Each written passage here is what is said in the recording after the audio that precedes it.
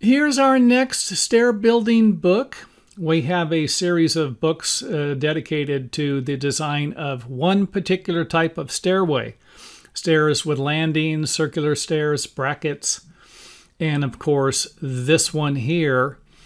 The slots you can actually cut into a stringer so that you can slide the treads into them and eliminate the need for using brackets. So this is a great idea, especially for production framing. If you think about it, if you were going to purchase a bracket and the lag screws for each bracket, and you're looking at four or five dollars each, and you're going to need two per step, and you're going to need uh, you got 13 steps in a stairway that could be quite expensive, and it's actually the reason why we built them when I was a production uh, stair builder working on tract homes.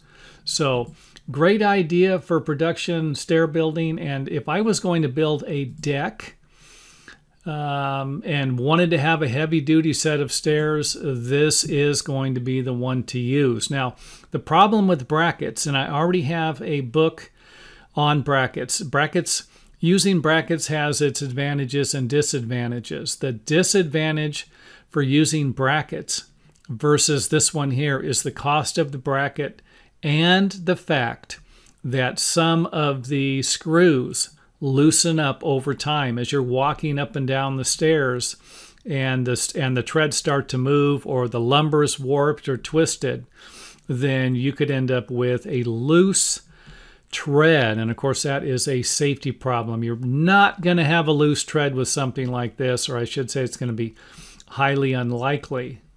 One of the biggest disadvantages for something like this would be that it needs to be assembled and put together and then raised into position. And these stairs could be quite heavy. So that could require some type of a lifting system or a couple of strong individuals to get it into place depending upon the length of the stairway. Now, it is a strong set of stairs. And if I was going to build a deck, I would uh, definitely consider using something like this.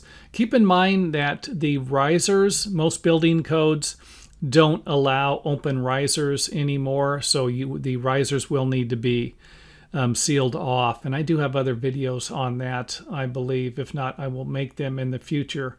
Let me know if you need more information on that. Now let's see what's inside the book. You will get book number one. It is included in here. And book number one basically takes up about this much of the book. It provides you with how to figure out the riser height, your tread run, um, gives you some layout ideas, even though this, I do have it down here for the pattern layout. This is going to provide you with the critical method, the most important method that is needed to build these stairs is going to be how to lay out the pattern here.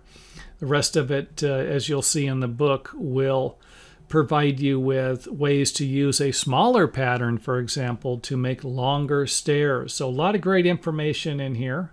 Here's some stuff you will find in book number one just kind of whip through it. You will have a table of measurements. If you're having a problem figuring out your risers, you can simply use these tables. Great, uh, great idea. Uh, gives you some ideas for, like I said, for straight set of stairs.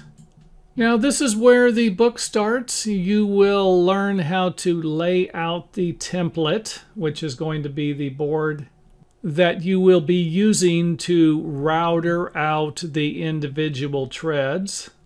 And of course, after the template is done, you have finished it, you'll simply attach it to a stringer, router it out, then nail it together, lift it into place, and you are done. Now, I'm sure that it's, uh, I'm making it sound a little easier than it is, but I can tell you that I've searched the internet for information I wouldn't have written these books if I could find information on building stairs that actually makes sense to do it yourselfers.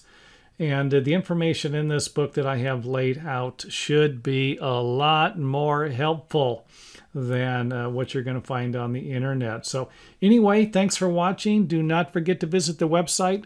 There is a lot more information there on stair building, different types of stairs, and problems that people have ran into. I've made a lot of videos about the process of assembly, building, design, and of course, repairs.